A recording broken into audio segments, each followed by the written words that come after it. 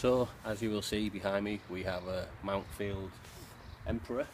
It is a big lawnmower, self-propelled rear roller, recently serviced to include sharpened blade and balanced, new spark plug, oil and filter clean out. The filter is actually in really good condition so it didn't need to be replaced. Um, it's ready to go, ready for the season ahead. I'll put this video together just to show how easy it is to start and run and uh, walk you through some of the features. Put it onto choke and then we've got the pull cord